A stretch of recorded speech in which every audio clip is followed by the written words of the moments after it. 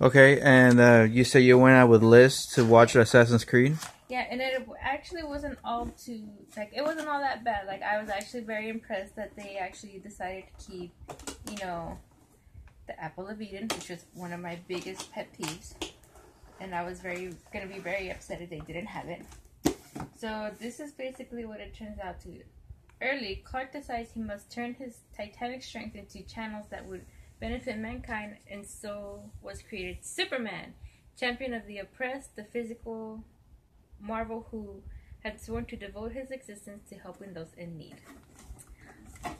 It reminds me a lot of a, like a cereal box. Yeah, possibly. I mean, this is literally what it turns out to. So maybe if you want to do like an incision, make it into like a little piggy bank. I guess Yeah. you could do that too. I don't know. I really like the mythic box. It looked really cool. Now I, I don't know. Maybe uh, but definitely buy my own cereal and just cut the top side here and then I just mean, put a bag in there first because you don't want to be like, because that's already inside out. Yeah. So yeah. Okay, I'm gonna have to fight the pin for you because I actually want to keep the pin. Uh, why why do you want to take the? Oh, look at that. That's why. Oh, it looks really nice. Let's see. And there's the. Oh. So apparently there's some incisions on there that you can actually take apart, and you're it's supposed to be like a comic book stand, so you can put your comic books in there like that. Oh, that's cool. Yeah, so that's that's what it's supposed to be. That's nice. That's pretty cool. Yeah, that's pretty. Yeah, yeah, because I'm seeing the little kind of uh, kind of dotted lines here and there. So, yeah, I don't know. I mean, it looked pretty cool to make it like a cereal box. Like, you want some Supermanos? Like, hell yeah! And then you have poured that shit in there. Then you get into my inner Kryptonian. But yeah, well, we'll we'll see. I mean, I've been buying and collecting some comics here and there, Yeah. but uh, Oh, ho, Yeah. look what we got here. well, what- what's this? Raphael's Ruby Refreshener. Is that the one that you just? Is that the one we just got?